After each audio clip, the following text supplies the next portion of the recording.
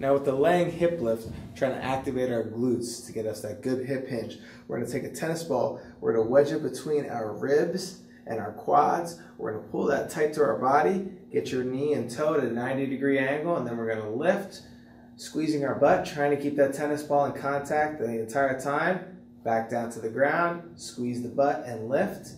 Make sure we keep the pressure out of the lower back and we really squeeze and fire through that glute. Now with the unassisted hip lift, we're gonna wedge that tennis ball between our rib cage and our knee.